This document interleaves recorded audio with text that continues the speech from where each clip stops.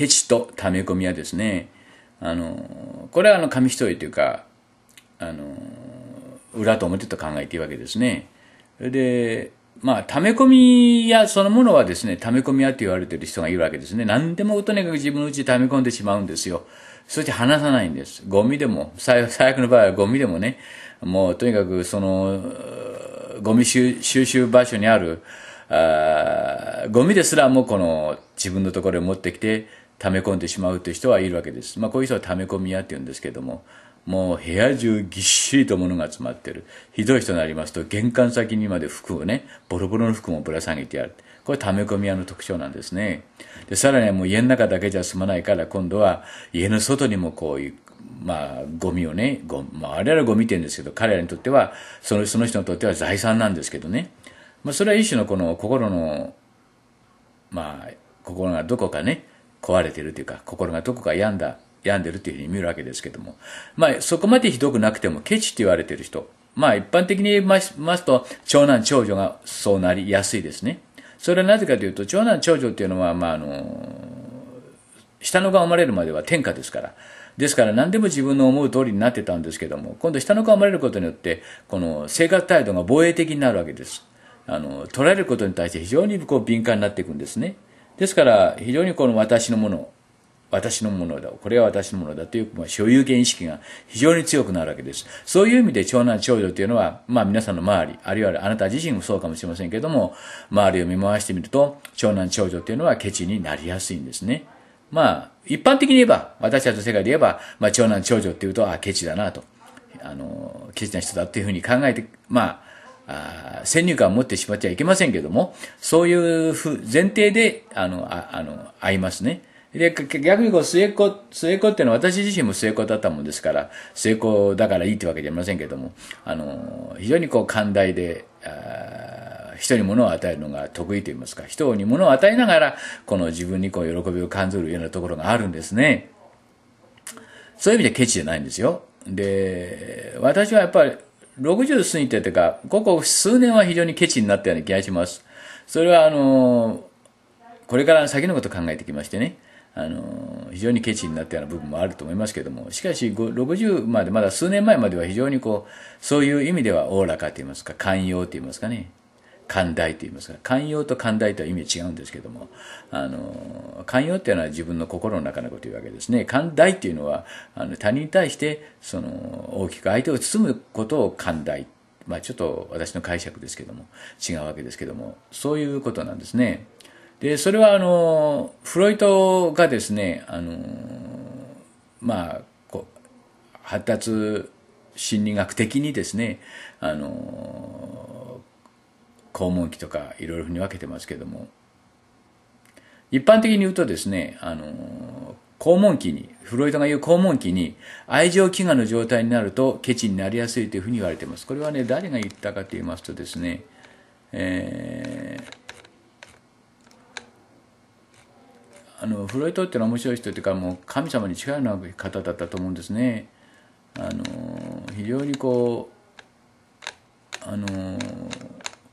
人間の心というものを科学的にこう考えた先駆者でありますけどもまあねフロイトフロイトを疑う疑うというかフロイトがそういう人であったことを疑う人はいないわけですけどもそのフロイト理論でそういうふうに説明しますね。肛門期。肛門期っていうのはあのいわゆるその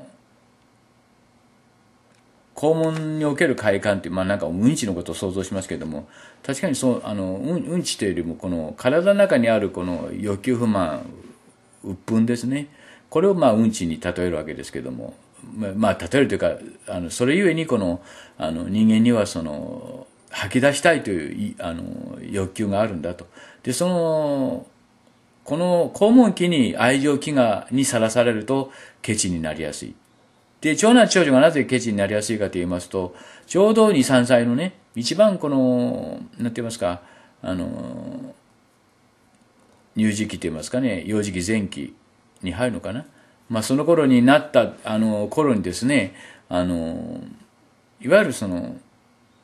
お父さんお母さんの愛情を求めたい。ところが下に子供生まれたと。そうすると親はですね、お兄ちゃんもあんたも、あの50%ずつで平等なのよっていう言い方するするかもしれませんけども、50%ってことが気に食わないんですね。お兄さんお姉さんにしてみれば。そうそうですよね。今まで100%だったんですから。ですから、それが50%に減ったってことは気に食わないわけです。でそういう意味で愛情飢餓を起こしやすいんですね。親からすればなんで愛情飢餓を起こすというふうに思うかもしれませんけども、子供の側に視点を置いてみますと、あの愛情飢餓を起こしやすい状況に追い込まれるわけです。そしてまあ、その肛門期に愛情飢餓にさらされると、ケチになりやすいということを言われておりますね。それで、まあ、更新期、肛門期、断根期っていうふうにこう、フロイトは言ったんですけども、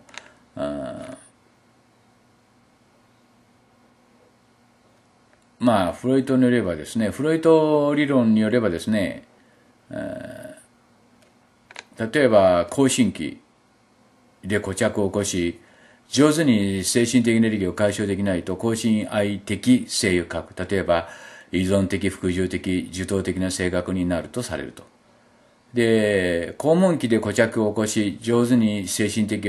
エネルギーを解消できないと、肛門愛的性格、例えば真面目、頑固、ケチ、倹約的といった性格になると。これはあの、渋谷正蔵先生って言って、あの、心理学の世界では、まあ、権威、最高の、日本では最高の権威者だと思うんですけど、心理学用語の中の出てる、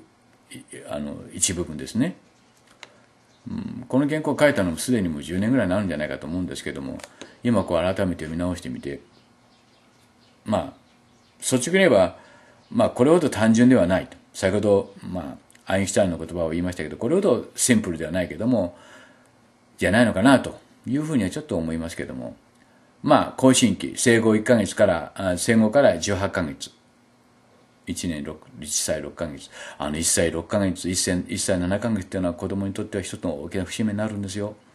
それから肛門期、1歳から3歳。ちょうど下の子が生まれる頃ですね。それから断根期、3歳から6歳。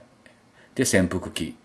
6歳から12歳までがちょっとわからない時期があって、性愛期。いわゆる思春期ですね。12歳以後を、まあ、性愛期というわけです。性期期、ごめんなさい、性期期でします。で、それぞれのその段階においてですね、あの、精神的エネルギーが上手に、あの、こう、